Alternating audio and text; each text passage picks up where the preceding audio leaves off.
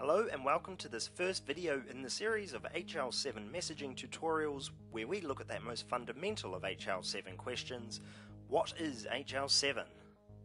Let's imagine that you've injured yourself and need to visit the hospital. Upon your arrival, you're requested to fill out a form to provide your personal information.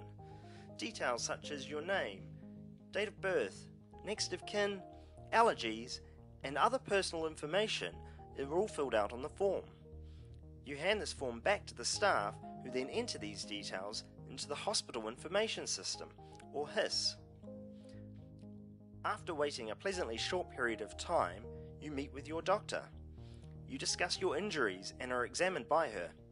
After assessing your condition, she decides to order a series of x rays, blood tests, and schedules in future appointments. These are also entered into the HIS. This information is now needed by other medical staff and their computer systems, so they can be prepared and able to continue the process of caring for your injuries. This is where HL7 comes into the picture. HL7 is a set of standards for transferring clinical and administrative data between hospital information systems. It's like a language that describes you and your medical information to all the hospital information systems. And the best thing is, all the systems speak the same language. So when the HL7 message is received by the computer systems, it can be unpackaged and understood, and these applications in turn present your information to those that need it. HL7 is designed to work with every facet of your care, including specialized software such as digital dictation, laboratory information systems, radiology information systems, and medical imaging equipment. So let's take a look at an HL7 message and see how it's built. Yes, I agree, if you haven't seen an HL7 message before, this is pretty scary.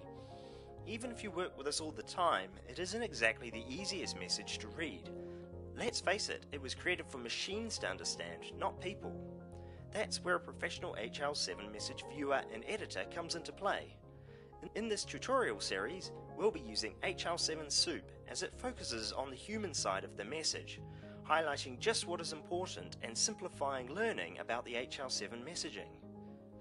But it's also because there's a 30 day free trial that you can download and install, allowing you to work at your own pace as you follow me through this tutorial.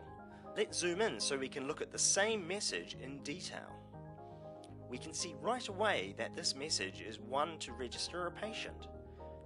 Further, we can see details about the patient that has been registered. It's Sam Brown, a 36 year old man who lives in the city of Howick. And he was an outpatient two months ago when he was attended by Dr. Katrina Allen. If you'd like to work through this tutorial series with me, then I encourage you to download the free 30 day trial of HL7 Soup from www.hl7soup.com. You can then follow me with the same message examples that I'm using throughout this tutorial. In the next lesson, we'll take a closer look at the HL7 message structure.